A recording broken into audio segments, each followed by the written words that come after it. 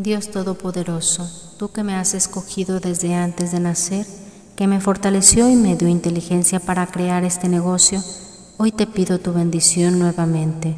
Ayuda a que mis ventas crezcan, que logre ganancias y sobre todo satisfacer a las personas que necesiten mi servicio.